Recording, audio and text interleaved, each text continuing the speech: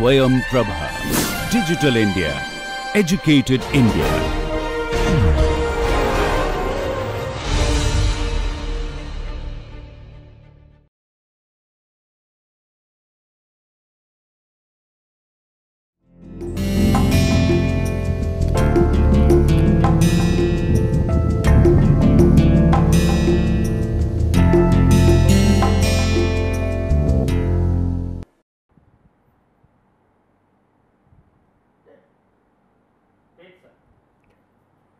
Hello and welcome to the ninth lecture on the series on FinTech. My name is Dr. Sudhender Hanumantarao. I am the Dean of Faculty of Management at Manipal University, Jaipur. In the previous lectures, not only have we looked at the concept of FinTech, what it is and various aspects and some of the technologies, we also have looked at some of the products in some of the domains of financial services that are being appended or that are being disrupted by this new concept called FinTech that includes uh, payment systems including credit cards, P2P versions of payment systems, P2P lending systems. Then we also looked at some of the foundational technology like blockchain. The various areas of fintech which are underlined by blockchain, the foundational technology is blockchain in addition to other technologies which are used in fintech as well as the concept of money itself, money, cryptocurrency, risk, these are all concepts which apply to cryptocurrency. Blockchain however is a technology which today drives a bulk of various activities in fintech. Blockchain the concept and the technology is are appli is applicable in various other fields too including things like logistics, governance, education, things uh, insurance. But fintech is the area, finance is the area which has adopted blockchain on an en masse basis. We have looked at the various things like cryptocurrencies, P2P lending platforms, insurance platforms, P2P payment platforms, all of which have, which have been built on the blockchain and sometimes digital cash also. We also saw a bit of cryptocurrency and the difference between cryptocurrency and digital cash. In this lecture, we will try to look at three topics cryptocurrencies, money transfer networks and micropayments. Depending upon the time, we may push the third, third part of it, the micropayments into the next lecture. All these are activities which have been significantly impacted by fintech and these are the these are some of the functions aspects which are the some of the fastest growing parts of fintech. So, let us start with cryptocurrencies. We just got an introduction to that in the session on blockchain because blockchain is the fundamental driving technology of most cryptocurrency platforms and these are also the ones which are much in use especially Bitcoin, Litecoin, Dogecoin, various kinds of coins. And uh, so, it is important to understand what these are and how are they different from regular currencies. So, the cryptocurrency, what is currency, what is money? We saw that it is a medium of exchange. Likewise, here a cryptocurrency is a medium of exchange using cryptography to secure the transactions and to control the creation of new units. It is a medium of exchange like money using cryptography to secure the transactions. Not just that, the basic token, the basic token that which is the unit of money exists as a cryptographically en en encoded set of digits. The basic currency itself exists in the form of set of digits which are protected by cryptography. It does not exist in any physical form. Though some of you might have seen coins, gold coins and others embossed with the logo of Bitcoin. This is the logo of Bitcoin. You would have physical seen physical coins embossed with the logo with this logo, but they do not have any currency in the outside world. They are not used as Bitcoin currency. Bitcoin, Bitcoin or any other cryptocurrency exists only as a set of encoded numbers. So, what are the basic characteristics, basic features? One is it is created using cryptography. Various types of cryptography are engaged basing it on blockchain for record keeping. And this currency is created. Like we know that every time a block is mined in the bitcoin blockchain x number of 5 or 11 or 2 at any point it keeps changing. It keeps going down over a period of time. And uh, that many coins get created using a cryptographic algorithm and gets released into the ecosystem.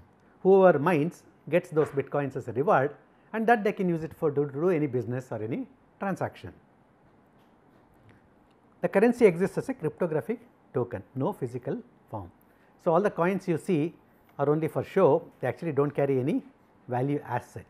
If they are made of gold, they will carry the value of gold, but nothing beyond that. The transaction use, using cryptocurrency is secured by encryption. All transactions between any two parties which oftentimes are public, they are based on a public uh, permissionless blockchain, but they are secured. No third party can change and modify that because they are secured using cryptography in various forms. All versions of cryptography, I devoted a full session on cryptography for this in this series. We saw that there are many types of cryptography, one way, two way, symmetric key, asymmetric key, things like that.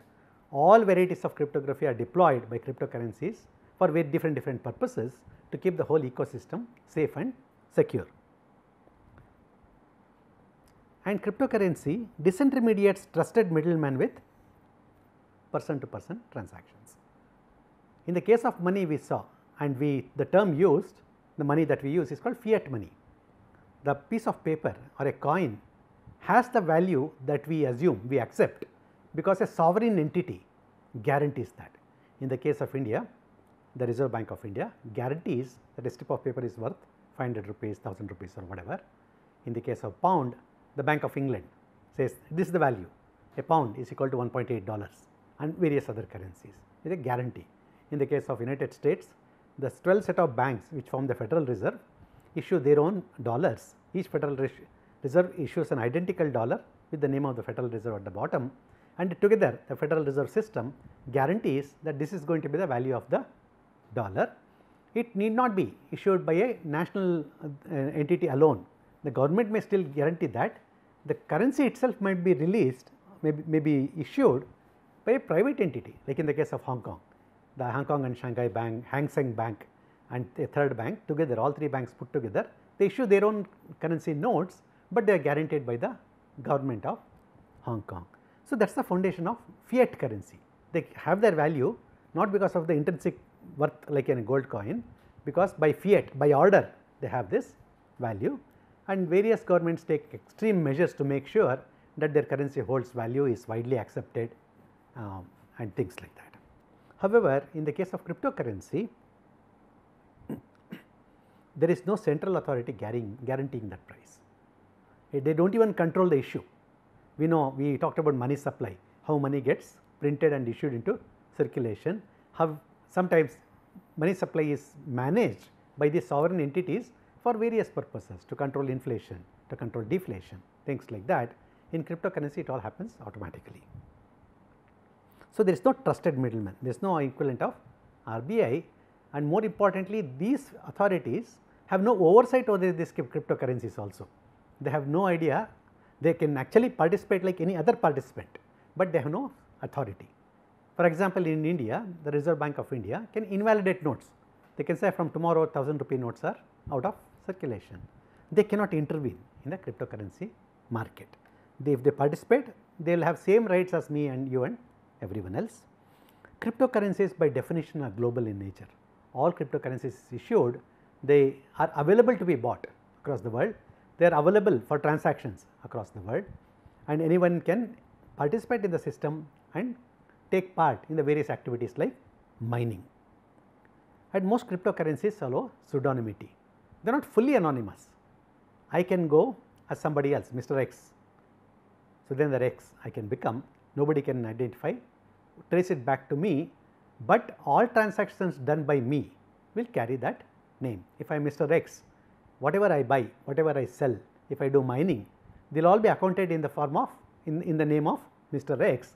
So, somebody observing all the transactions in the case of blockchain we saw that we can go into the ledger, the distributed ledger and go and see transactions from the beginning.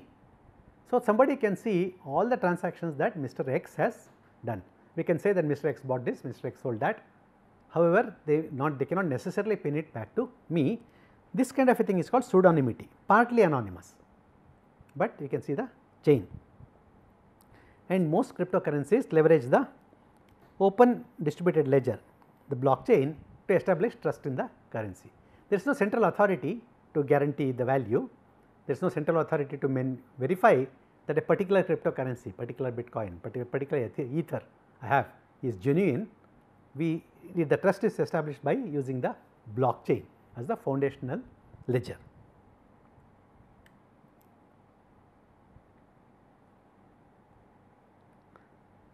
And however, the cryptocurrency must meet the basic features of money. For something to be currency, we know that they have to meet these three values. They have to serve these purposes, they should serve as medium of exchange, they can should be used as unit of account and they should be available as unit of value.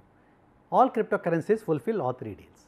By definition, though if you see the market and the buzz in the market, the way value of currency is going up, people are treating cryptocurrencies as if they are stocks and shares, they are assets to be bought and sold and the value and gain the appreciation in value, but cryptocurrencies actually fulfill the basic three needs. They are not security, they are being used and traded as securities, but they are, they can be used as medium of exchange as currency. For example, on Bitcoin enthusiasts fans say there are more than 1 million establishments which accept Bitcoin as in payment. Tesla being the most famous example, I can buy a Tesla car by paying in Bitcoins. So, they, they all treat Bitcoin as a currency like any other currency like dollar, like rupee, like pound. So, I can sell mangoes and get a piece of Bitcoin and I can keep a piece of Bitcoin and get a haircut for those establishments who accept that. So, cryptocurrencies do act like a medium of exchange. They also they also act as a unit of account. In case of money we said that a money a mango that I am selling is worth 20 rupees, its equivalent could be and this actually more than that its equivalent could be 0.0003 bitcoins. We know one bitcoin is roughly about $50,000 right now. So, suitable one part of it let us say 1 dollar 1 over 50,000. So, one matchbox which is 10 rupees which should be equivalent of so much 0.0001 bitcoins. So, from based on this we can make the do the math and say that one mango equal to 3 bitcoins. So, these cryptocurrencies can also act as a unit of account. We can measure the values of items using this common medium called bitcoin or any other cryptocurrency and they can they also act as a store of value. If I have 50 bitcoins today in my account, 10 years later, if I had 50 bitcoins in 2010, 20 years later, I will still have 50 bitcoins. Its value may fluctuate in a global market, but the currency itself will not decay. I will still have that many, it acts as a store of value. The value may fluctuate, but the value remains in that particular currency. These are the three essential features of money. They also meet the requirements of transactions, ACID. All transactions using cryptocurrencies are atomic. If I give you 0.0003 bitcoins and buy a piece of buy a mango, that one single transaction does not affect anything else. It is one single full transaction at the end of the transaction I have given you have 0.00303 bitcoins, I have one mango, one unit, nothing else is affected unless both parts are done the transaction is not complete. We have seen in the case of blockchain that third parties verify both parts of the transaction once they agree that this is a valid part of the transaction, both parts of a transaction happen in one unit. It is not like first bitcoin gets exchanged to you and they do not give give me the mango, transaction is not complete. For the transaction to be complete, both parts have to happen, it has to be whole unit, the buy and sell, give money, take value. Second is consistent.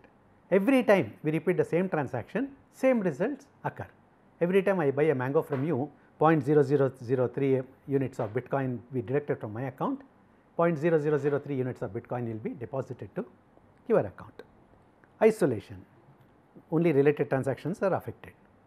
Only V2 are affected and no, no other part of the bitcoin world will be affected based on each transaction. Each transaction is isolated, there are no interlinkages with anything else in the system.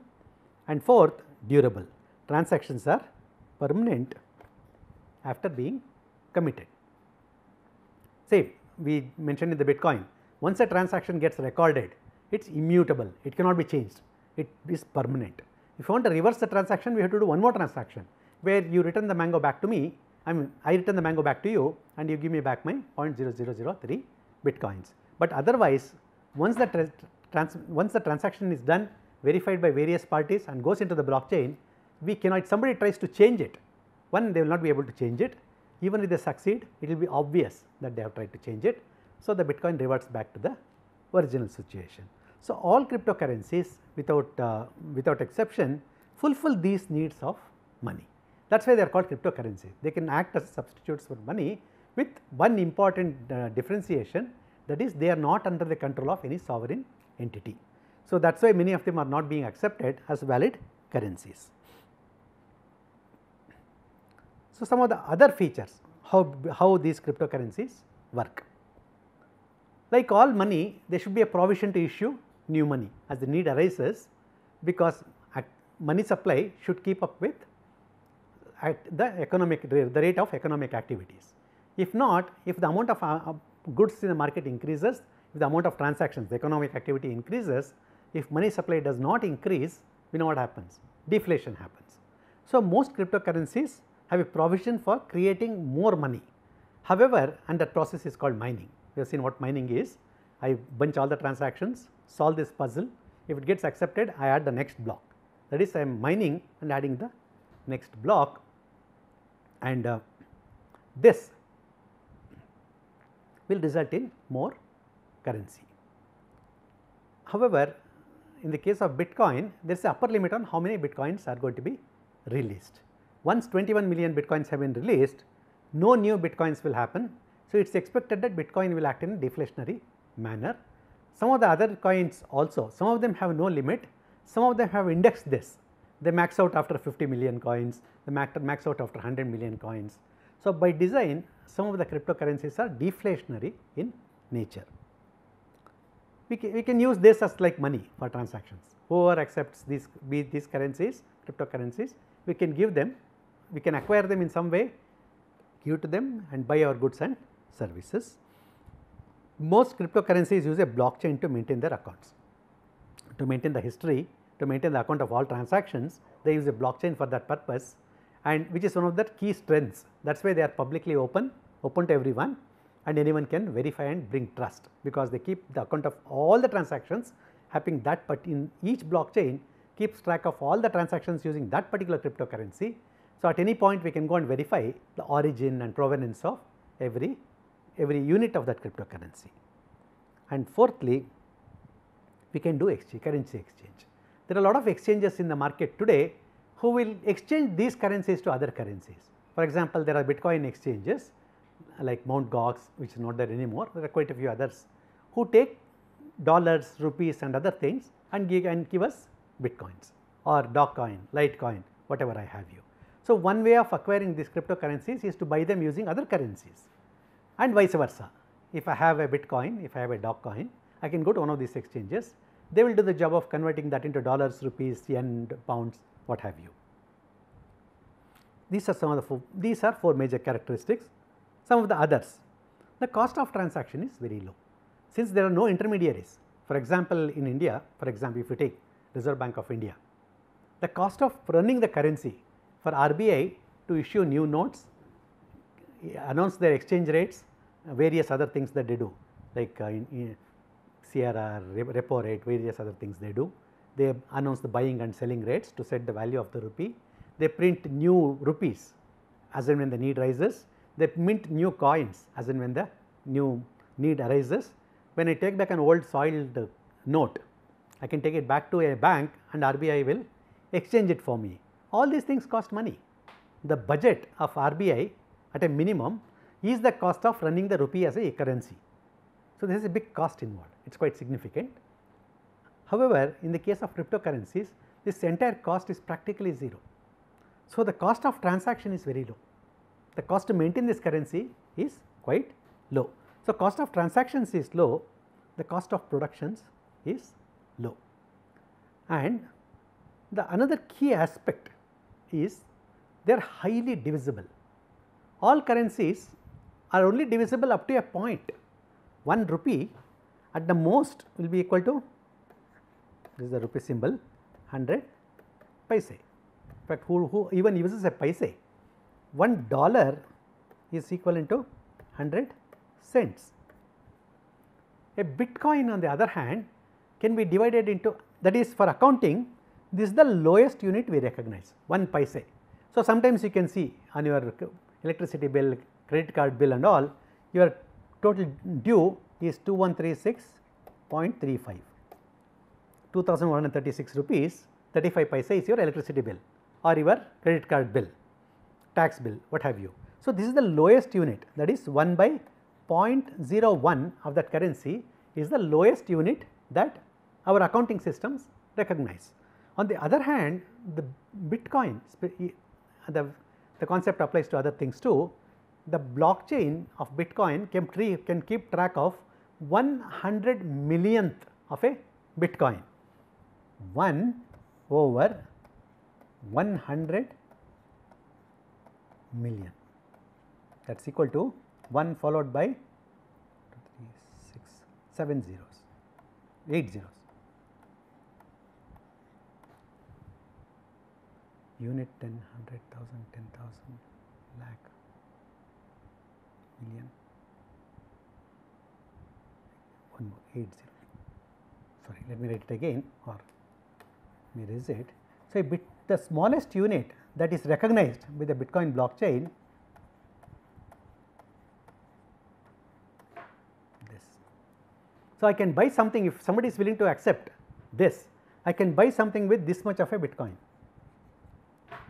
or rather the, the way they write.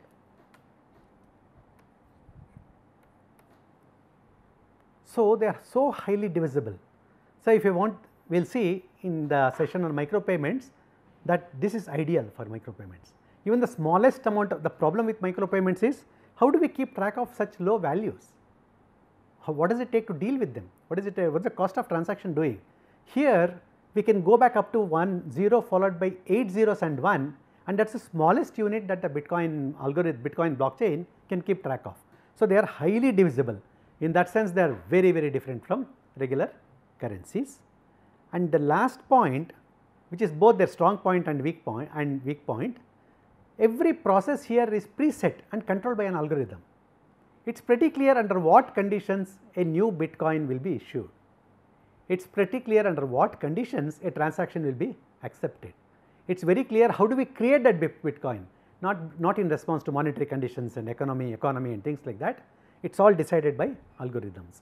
What are the terms and conditions to accept a transaction? What are the terms and conditions to write the transaction into the blockchain.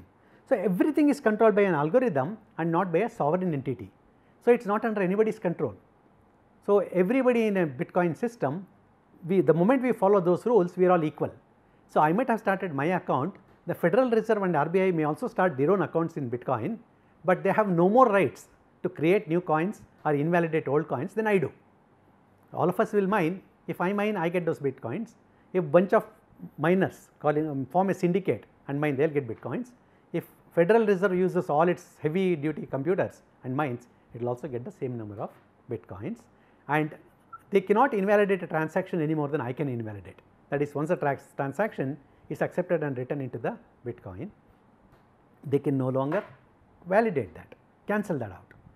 And third they are global in nature whereas many of these sovereign entities try to have a tight control over the currency and those currencies are only accepted within national boundaries. There are exceptions of course, there is Ecuador which accepts dollar as the currency, there is no other currency in Ecuador which accepts the dollar and a bit of history till the late 70s Indian rupee was the valid currency in the Middle East in UAE, what is called UAE today, Dubai and all, they were using Indian rupee. So, it is not necessary, but in general sovereign entities try to make try to establish a tight control over how they manage the currency. Here they do not, they have no more rights, it is all done by independently. So, I can use my bitcoin anywhere in the world without bothering about exchange, foreign exchange controls, this, that and all and I can do it pseudonymously. If I am buying arms, if I am buying drugs for example, these sovereign entities and the, the uh, investigative agencies find it very difficult to track it down. So, there is a bit of suspicion that these are using these, these currencies are being used by international criminals, terrorists and all for very nefarious activities. That is why many countries do not recognize these cryptocurrencies. For example, in India it is still unclear, it is not clear that whether they can, I can go to an exchange buy a bitcoin. Till recently RBI had banned that. If I was found in possession of bitcoin, I am doing an illegal act.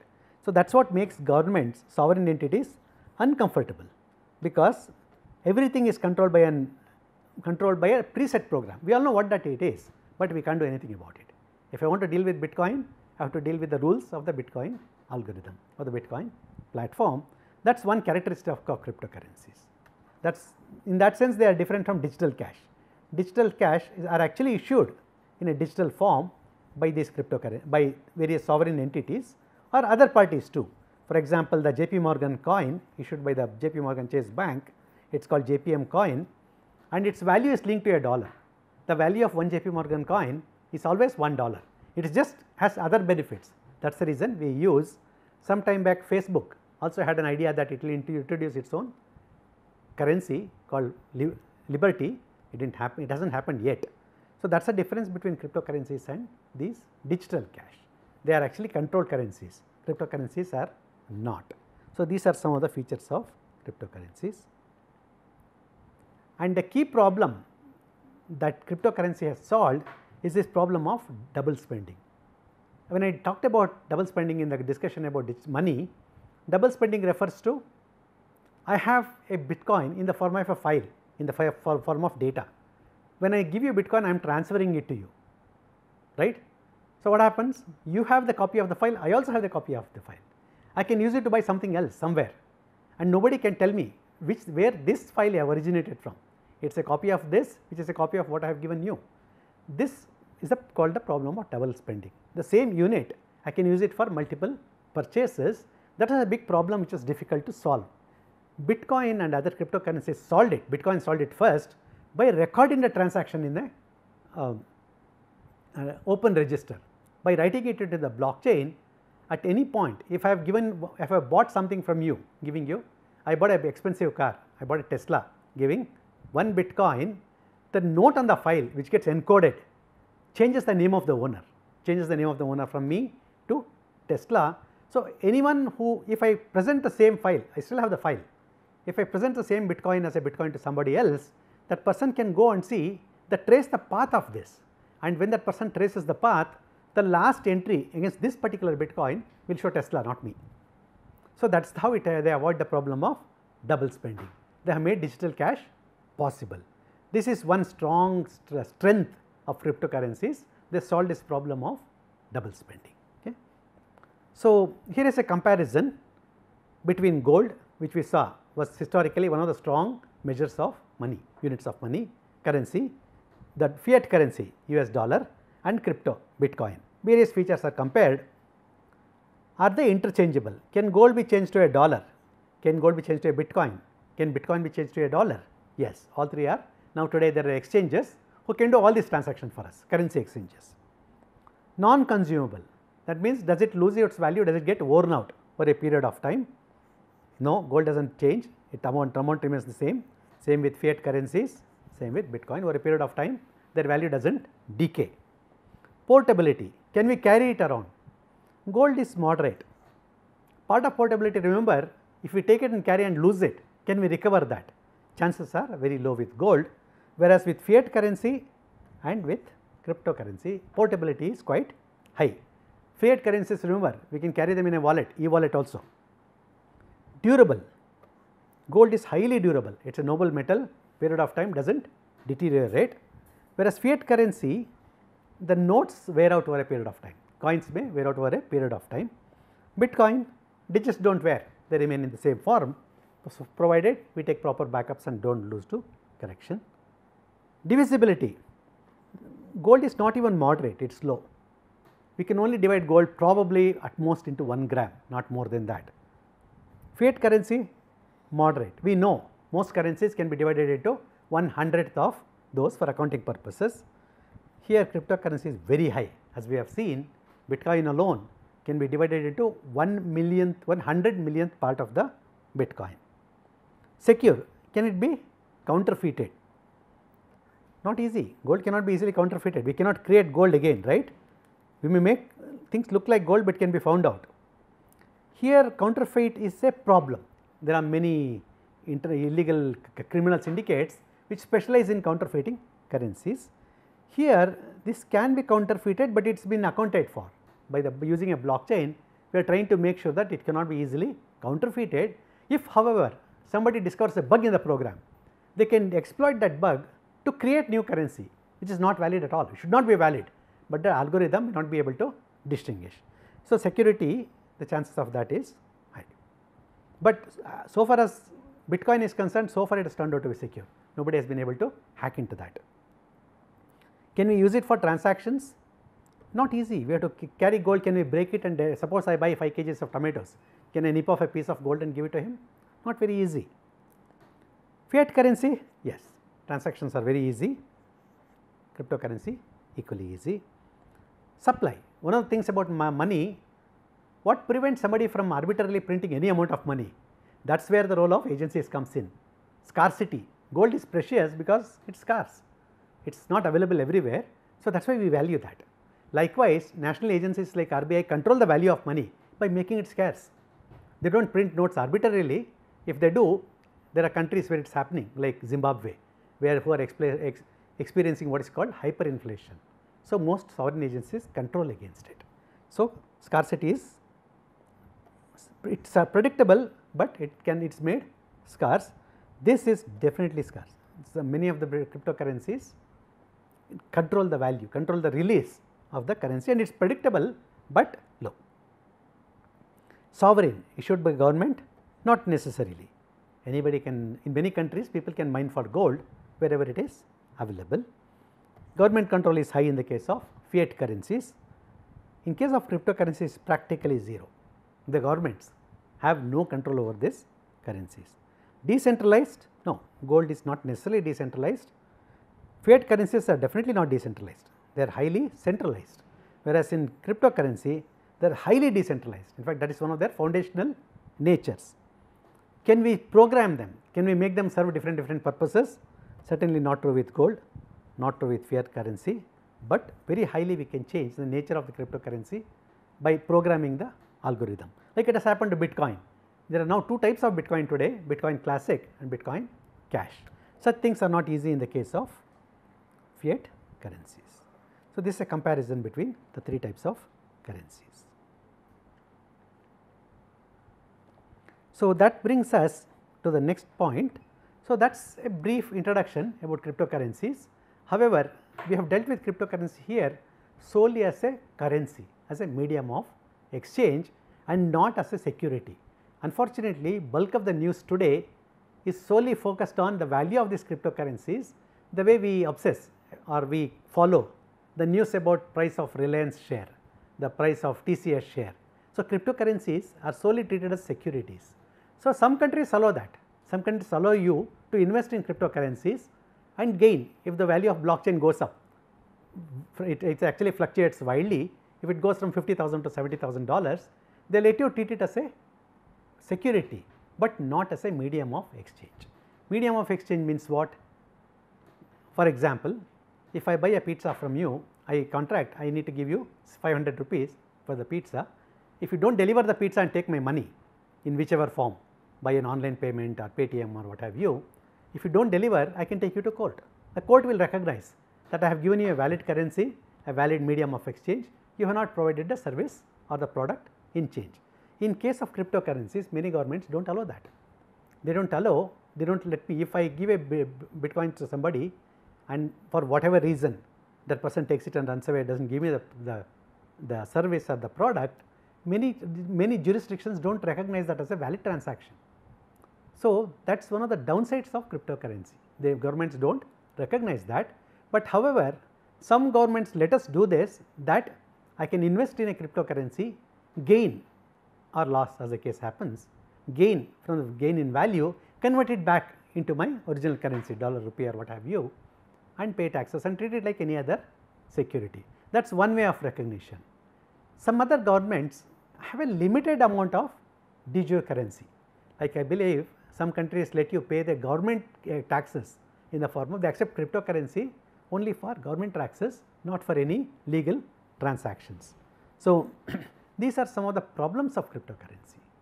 So, and secondly as I said it is not treated as a currency, it is treated as a security over a period of time it might become a true security that we can use these as a medium of exchange to buy things to store value and get away from this obsession with treating us as a security. Today it is not used much as a medium of exchange mainly as a security to speculate on its value.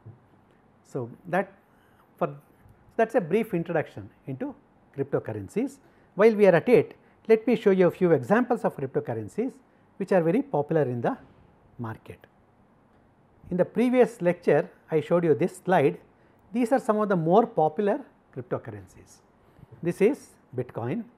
This was actually formulated by a bunch of scientists and uh, finance experts called Cardano to fulfill certain purposes.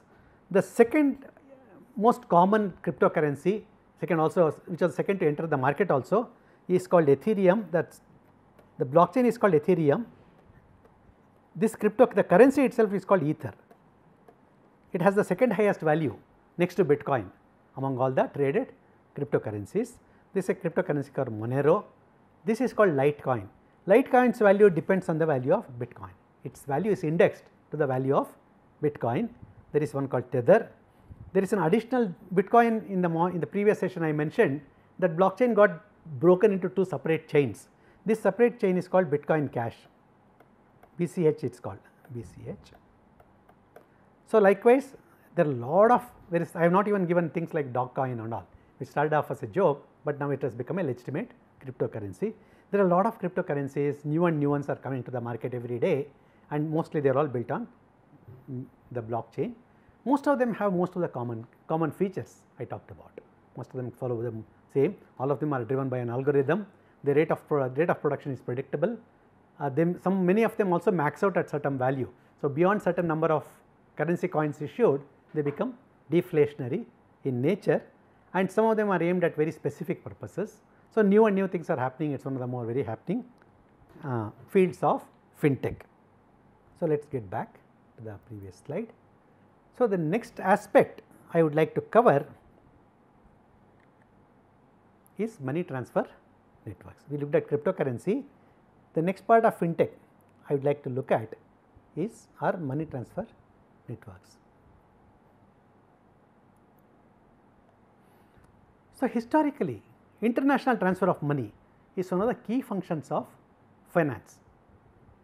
In this concept in this area historically before these banks and all got established there was one method of currency exchange it is called hawala.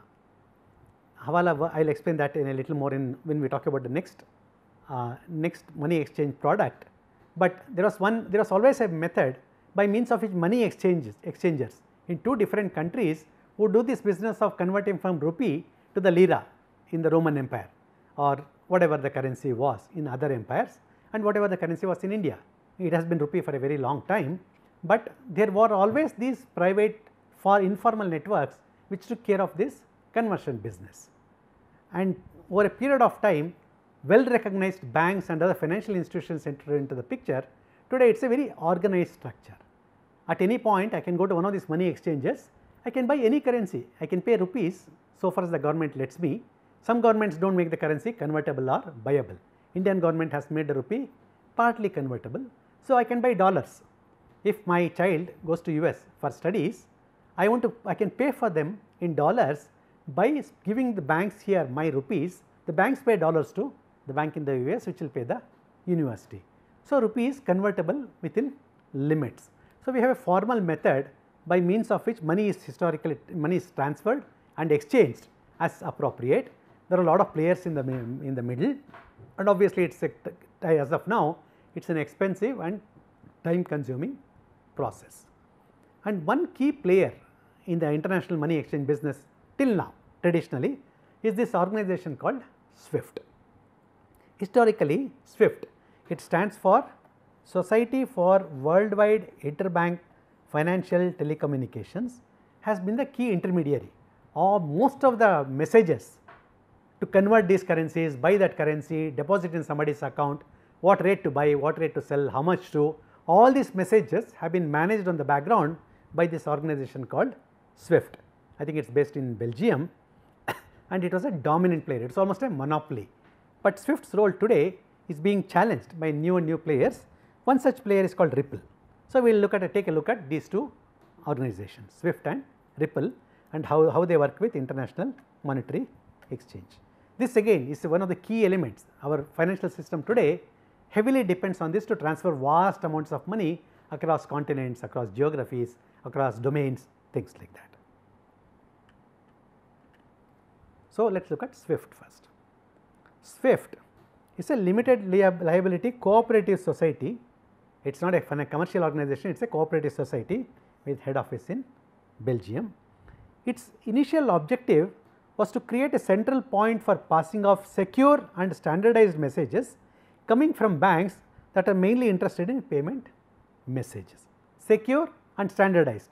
Different countries use different terms for the same transaction, for the same action and it was very difficult in computers we need to have consistency right. If I if I use the word currency people can understand easily that I am also talking about money depending on the context.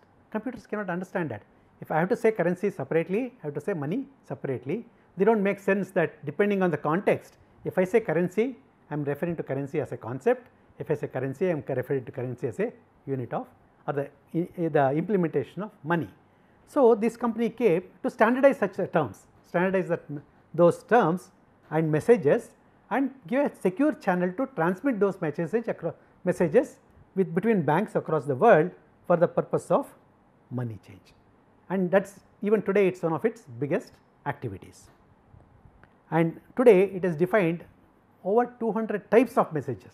Pay, sell, buy, deposit, credit, debit. Each one has a different different message short short cryptic message which are easy to trans transmit over the wire whether it be through satellites or through cables what have you and those messages cover there are various types of messages covering different activities like credit and debit instru instructions. Debit so much money into the account of University of Pennsylvania in Philadelphia that is one message. I mean debit has a separate message to add these components into that and do that activity. Credit buy and sell orders for currencies not for items documentary credits whenever credit is given document that collections guarantees interbank transfers. So, SWIFT essentially works as a messenger it does not work like a bank it works as a messenger it has defined a set of messengers messages all the banks use these set of messages to transmit monetary information between them in a very safe very secure very reliable manner. Once I use SWIFT once I send a message SWIFT may guarantee that message will reach the customer in a limited amount of time. Ideally, we want it instantaneously even otherwise it may give some limit saying that within 20 seconds it will reach and things like that. So, it is a cooperative society used for money interchange. So, as the latest count there are more than 10,000 users. These are banks, central banks, other kinds of financial institutions, investment banks and things like that. These members remember it is a cooperative society they are not customers the members have a number of shares in the capital of the company which shall be proportional to the usage of the message transmission services of the company. There are 2400 live members. So, if RBI does 1 million messages in a month and the Federal Reserve does 10 million messages in a month, the number of shares that RBI Federal Reserve will have will be 10 times the number of shares that RBI owns in this society. That is members who do more transactions have a greater say in the uh, activities and the policies of this organization than members who use less, but everybody has some say they are all members. All the members have a say in how this organization works and delivers its services. There is another category called sub members, they are organizations at least 50 percent directly or 100 percent indirectly owned by a member with full management control. Like RBI has many subsidiaries like NPCI being one of them for example promoted by RBI. It can become a sub member. RBI has other organizations too likewise Federal Reserve has other organizations which is which may be 50 percent directly or 100 percent indirectly owned by the member and controlled by that organization. They also can become members. RBI can become members all its promoted organizations also can become members, but they become what are called as sub members. And there are such more than 3000 sub members and the rest of them are called participants other than members and sub members. Any organization may be permitted to make use of specific services the company of the company as participant not entitled to shares in the capital of the company. There are 4565 such participants These are organizations make, make services like customers and pay them fees for that purpose. SWIFT historically has been a very profitable monopoly, but that is being challenged. So, till recently almost all international transactions went through SWIFT. Now for example, if I use a cryptocurrency like Bitcoin, if I make a payment to somebody in Australia for something I buy, now it is done independently, completely independently out of the range of SWIFT. Does not even come to SWIFT, it happens directly on the Bitcoin ecosystem. One more reason why sovereign entities do not want to accept cryptocurrency, are reluctant rather, do not want to. The broader SWIFT community also encompasses corporates as well as market infrastructure in payment, securities, treasury and trade. Various other organizations which deal with all this also makes use of services of SWIFT and SWIFT may also deal with them to transmit their messages. SWIFT is neither a financial institution nor a payment system, it is solely a carrier of messages. It is just a messenger that is what they say, but it is so powerful because it carries almost all the messages. Every system goes through SWIFT.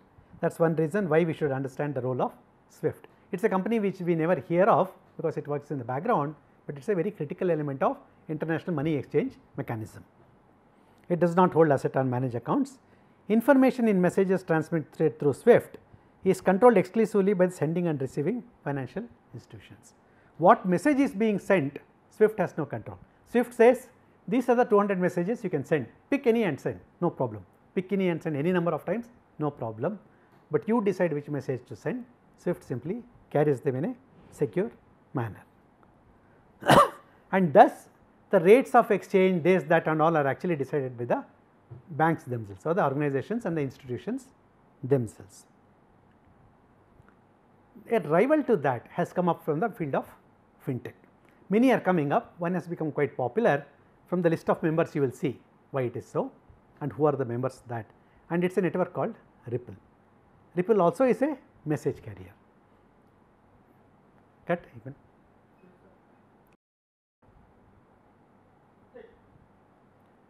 So, one of the challengers to the monopoly of SWIFT is this fintech company called Ripple.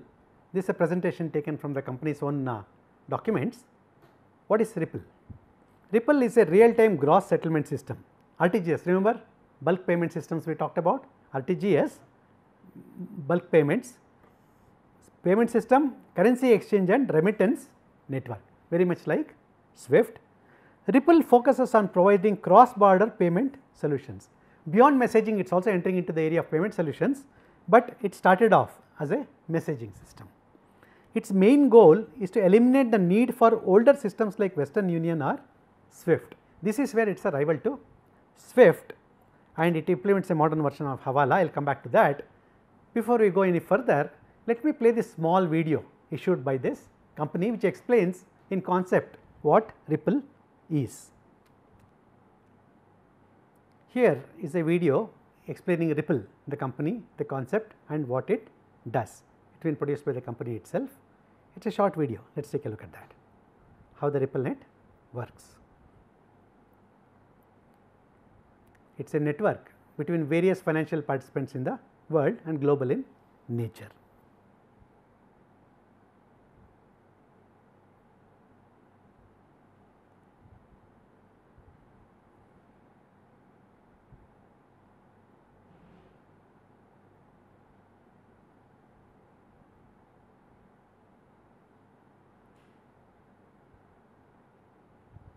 So, these are some of the key features that are required and offered by Ripple.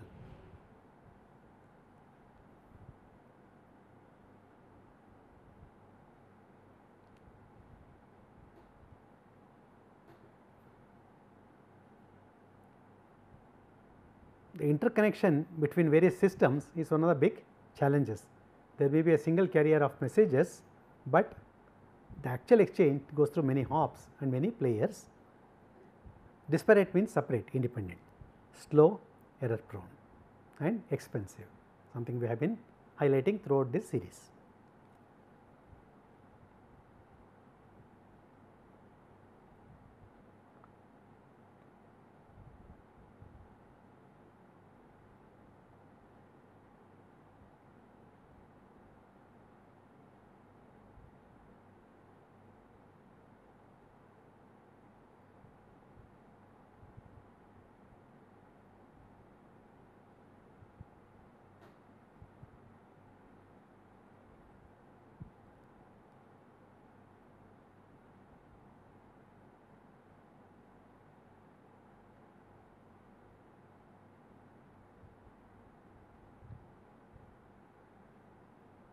At the end we will see a list of banks which have signed up with Ripple to use their services. There are a few Indian banks too.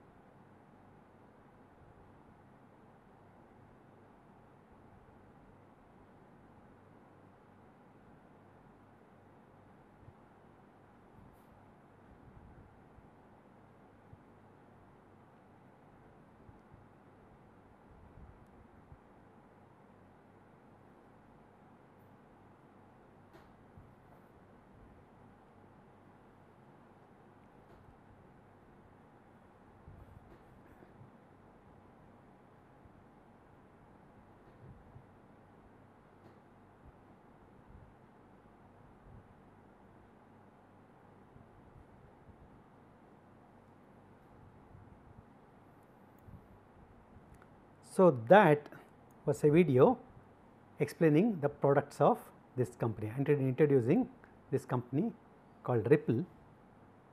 So, let us see that at leisure in the form of text. So, to come back Ripple is a RTGS system essentially a message transmission payment. It is a it started off as a message transmission system, it has grown evolved into many various things. It focuses on international exchange not necessarily within a country main goal is to compete and eliminate the older systems like Western Union or SWIFT. As I said it implements a modern version of Hawala. The way Hawala works though it has a bad connotation today, it is a legitimate system in the pre-modern days where there are two agents let us say one in India and one in Saudi Arabia. Somebody who wants to pay money to transfer money to Saudi Arabia comes to me and gives 1 lakh rupees. We exchange some form of identification like a code word I will tell my person, my contact in Saudi Arabia saying that pay x amount of money to person B when he gives you that code word, code word. This person A conveys that code word to person B in some form. When he goes to the agent and gives that code word, the agent in Saudi Arabia deducts the commission, pays the rest of the money. Likewise, there will be transfers from Saudi Arabia to India also. At the end of a period, say week, one month, I will add up all the money I have received and I, he adds up all the money he has received that money has to come to India, this money has to go to Saudi Arabia. So, if in a period he has received 3 lakhs, I have received 5 lakhs, that means I need to send 2 lakhs to that person short of commissions. That is how we settle the accounts. So, this has been done historically and Ripple started off implementing a version of that. messages are being sent, transactions are netted once in periods. Now, of course, it is grown up into many more things, other products that we talked about. How is it from different from Bitcoin? It is not a blockchain. It actually uses an open ledger, but it is not a shared ledger, but not a blockchain. It is consensus oriented, but controlled by this company. Ripple's token is not mined like Bitcoin, Ethereum and other cryptocurrencies. Where it is beats them is Bitcoin can handle 3 to 6 transactions per second, Ripple is, is able to handle this network is able to handle 1500 transactions per second. The RippleNet, the network which does actually the transmission is a network of payment providers such as banks, money services, businesses that use solutions developed by Ripple to provide a smooth experience. It uses payment gateways. A gateway is essentially a digital portal that governments, companies and financial institutions use to join the network. This mechanism is called RippleNet which is also covered in the video. It has three products which is also covered in the video X current real time messaging equivalent of Swift, xVia a uh, accounting system to track payments, xRapid is a way to actually transfer money. It uses XRP, it has been tested by Western Union, it is its own cryptocurrency, we will see. Okay. These are the three products that Ripple offers. Benefits, transactions are cheaper and quicker than a Bitcoin. However, it is a legitimate system, many banks use it actually and it has the ability to be exchanged to any currency. We can convert rupees to XRP XRP can be converted into dollars at the either end if all the parties agree to it. These are some of the banks which are using Ripple, they are supporting Ripple. Among India we see Axis Bank and Yes Bank, this is an Australian bank, this is a Spanish bank like that, this is a Swiss bank, Union Bank of Switzerland. So, a lot of banks, it is a legitimate system, a lot of banks are using Ripple to do their international transactions. And on top of it, it has its own cryptocurrency XRP it is not as traded as Bitcoin and others, but as they have said themselves it can be used for interchanging and transferring money across the world. It is their own crypto token. The thing is its transactions are faster than Bitcoin, but it is independent of the network. You do not have to use the XRP to use the Ripple's network. So, that brings us to the topics that I wanted to cover. The next topic is micropayment that we will cover in the next lecture. So, this brings us to the topics I wanted to cover. Uh, we have covered cryptocurrency and international financial exchange mechanisms.